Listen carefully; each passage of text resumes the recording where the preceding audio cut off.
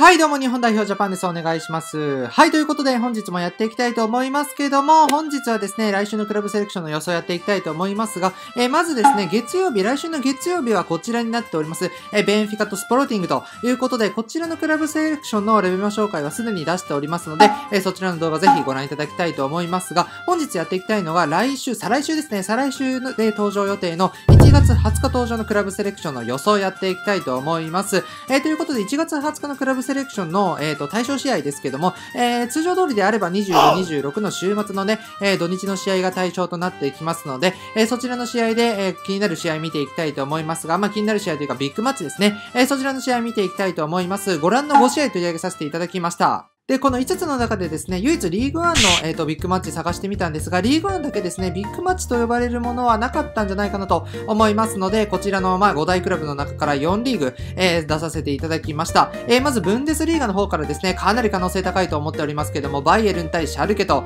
いうことで、本当にブンデス勢ですね、えー、バイエルンとシャルケですけども、こちらの2クラブは、えっ、ー、と、他のブンデスのね、クラブが、ライセンスが取れていない影響で、クラブセレクションに出しにくいと思いますので、かなりバイエルンとシャルケの、えー、クラブセレクションは今回、えー、かなり可能性が高いんじゃないかなと思います。で、そしてですね、セリエ A の方からローマ対ラツィオ、そしてナポリ対ユベントスということで、まあ、下の方が、えっ、ー、と、かなりの、えビッグマッチかなと思いますけども、ナポリ対ユベントスもあるという形になっておりますが、かなりビッグマッチですよね。で、ラリーガ、え、スペインですね、ラリーガの方からバレンシア対バルセロナということで、こちらの試合もかなりの、え、ビッグマッチかなと思います。で、最後はですね、イングランドプレミアリーグの方からですけども、チェルシー対アーセナルということで、こちら1月22日ミッドウィーク開催のね、試合なんですが、えー、こちらを見ていただきたいと思います。前回バルセロナ対レアルマドリーの方で、えー、こちらクラシコ行われたんですけども、延期の試合ですね。えー、こちらの延期の試合がミッドウィークでもクラブセレクションとして登場しておりましたので、え可能性としてはまだ残っているんじゃないかなと思います。チェルシー対アーセナルですね。まあ、こちらの試合もかなり期待できるというか、かなりのビッグマッチかなと思いますけれども、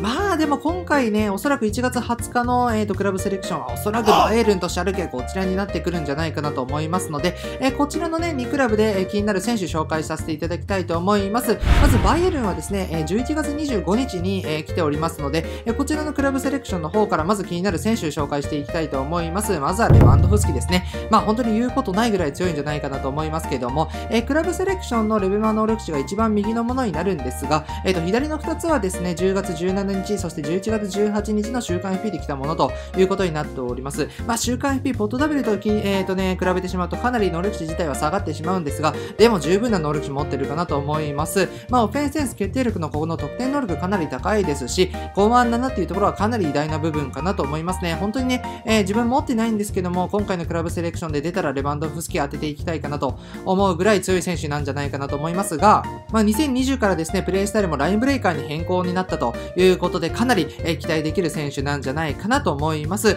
えそしてですね、コメント欄にてぜひレバンドフスキーの、えーと、使用感等を教えていただきたいと思いますので、持ってる方はですね、書き込んでみてください。で、続きまして、バイエルン2人目はですね、キミヒということで、この選手本当に強いですよね。まず、え1番、2番ぐらいの当たりのね、選手になってくるかなと思いますけども、ご覧の通りですね、まあ本当に、えバランスを取れたサイドバックの選手かなと思います。まあスピード瞬発もある程度ありますし、ドリブルもしっかりできるというところと、フライパスの部分ですね、え95でしっかりあるというところと、あとはスタミナっていうところもね、えー、後半もしっかりやれるかなと思いますし、後半7っていうところは本当に偉大ですね。で、レベマ総合値は97までいくというところと、本当にスキルの部分でもワンパス、ルーパスだったり、バックスピンロブ、ピンポイントクロスとインターセプトということで、このピンポイントクロス持ちっていうところもかなり評価できる部分かなと思います。で、サイドバックだけではなく、まあ中盤もいけるというところがですね、えー、キミヒかなり重宝できる選手なんじゃないかなと思いますね。で、まあバイエルのクラブセレクションはですね、まあ他にコーチーニュだったり、あとは、えっ、ー、と、チアゴ、えー、そちらのチアゴ・アルカンタラ選手だったりいますけども、まあ、この中で言うと、えー、レバンドフスキー、キミッヒ、ここら辺の選手がかなり当たりの選手かなと思いますし、あとはそうですね、週間 FP の方でもう一人見ていきたいと思いますが、ダビド・アラバ選手ということ、左サイドバックの選手なんですけども、ご覧の通りですね、かなりバランスを取れた能力値ですし、あとはスタミナがしっかりあったり、ディフェンス系の能力値もしっかりあるというような選手になってくるかなと思います。で、コンアン6というところも偉大ですよね。で、スキルもかなり有能なもの持ってますし、何しろね、センターバックもいけるっていうところは個人的にかなり評価できる部分かなと思いますね。で、プレイスタイルは攻撃的サイドバックということで、バイエルンの FP ではですね、え、こちらの3選手ぐらいが、え、当たりの選手なんじゃないかなと思いますけども、個人的にここからはですね、まだ FP で登場していないバイエルンの、えー、と注目の選手紹介させていただきたいと思います。えー、まずトーマス・ミュラーということで、ミュラーは本当に来てほしいですね。まあ本当に、えー、と最強クラスのスーパーサブの選手なんじゃないかなと思いますけども、まずオフェンスセンスですね。えー、通常からカンストということで、このオフェンスセンスかなりえぐいですし、決定力はですね、意外と90止まりなんですが、FP で来た時にはですね、92とか3とかそこら辺まで行くと思いますので、えー、かなり期待が持てる選手かなと思います。で、かなり高水準でバランスを取れたのよろしかなと思いますので、えー、こちらのミラーが来た時はですね、1番、2番、これ、それぐらいの当たりの選手と言ってもね、過言じゃないぐらいの選手かなと思います。で、続きまして、こちらの選手ですね、ゴレツカということで、ゴレツカも本当に期待できる選手かなと思いますけれども、まあ本当にこの選手も高いところでバランスの取れた能力かなと思います。えまず、ボルコンドリブル、そしてパス系ですね、ここら辺の、えっ、ー、と、足元だったりパス、ここの能力値かなり高いですし、あとはヘディングだったりジャンプ、フィジカルコンタクト、ここら辺も高いのありがたいですよね。中盤でしっかりボールも跳ね返してくれる選手かなと思います。で、スピード瞬発も88、85あるんですよね。まあ本当に高いところでバランスを取れた能力者だと思いますけども、スキルも有能ですね。ヘーターだったりヒールトリック、ワンパート、スピンキック、インターセプト、小割れのスキルかなり有能ですし、えプライス、えプレイスタイルのボックスボックスということで、本当にですね、ゴレツカもバイエルンのクラブセレクションで出てほしい選手の一人なんじゃないかなと思いますし、個人的に当てていきたい選手かなと思います。で、バイエルンラストはですね、コマンということで、コマンも本当に強いですね。え2020から新搭載となった選手ですけども、ご覧の通りです。えまずボールコントロール、ドリブル、ボールキープ、ここら辺高いですし、スピード瞬発がカンストということです。スパサブ持ちでスピ瞬カンストっていうところはかなりエグいですよね。ただ唯一ですね、コマンの場合はコンアン5っていうところが若干気になる点かなと思いますね。まあ6は欲しかったかなと思いますが、プレイスタイルはウィングストライカーということで、本当にコマンもですね、スーパーサブ枠でかなり期待のできる選手かなと思います。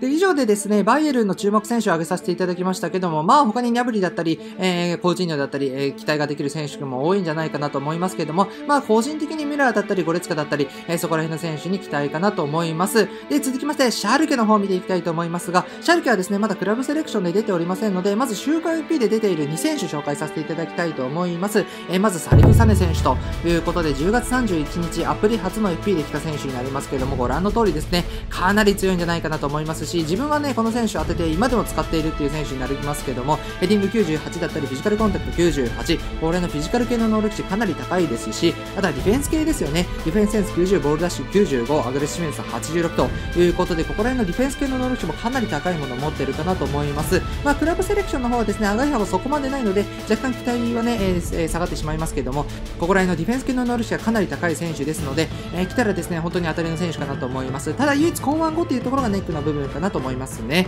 え、スキルはですね、ヘッダーだったりインターセプター、小金にスキルかなり有能ですし、DMF だったり右サイドバックもいけるっていうところがですね、かなりユーティリティな選手かなと思います。プレイスタイルハードプレスということで、シャルケ2人目紹介させていただきたいと思いますが、ハーリットということで、本当に言うことないぐらい強いかなと思いますが、9月19日の週刊 P、えー、これはですね、PS4 のみで出てきた週刊 P になりますけども、ご覧の通りの能力となっております。えー、まずオフェンスセンス決定力、中盤の選手でかなり高いですよね。で、ボルコンドリブル、ボールキープ、足元の技術もしっかりありますし、パス系も89、87で、ここら辺かなり高いというところだ。スピード瞬発ですね。95、97ということで、OMF の選手でかなり足の速い選手になってくるかなと思います。ただ唯一ですね、ハーリーとは後半の部分が4なので、まあ、最低でも5は欲しかったかなと思いますけども、まあ、ただライブアップではいい時期はですね、かなり重宝できる選手かなと思います。スキルの面で見ても足元系でダブルタッチだったり、あとはワンパス、ルーパス、ここら辺のスキルかなり有能ですよね。で、えプレイスタイルはチャンスメーカーということでですね、シャルケの 2,、え2選手紹介させていただきましたけども、ラストこの選手紹介させていただきたいと思います。クドゥジュ選手と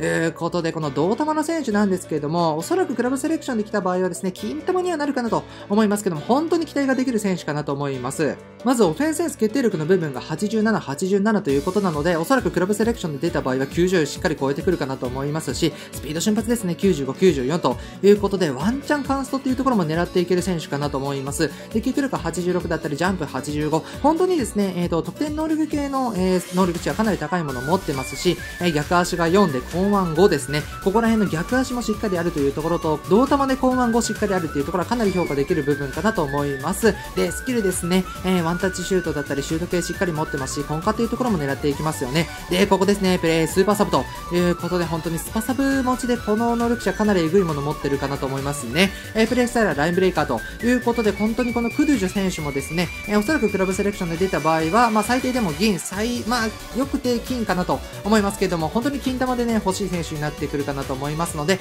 えー、ぜひこの選手狙っていきたいところかなという感じですかね。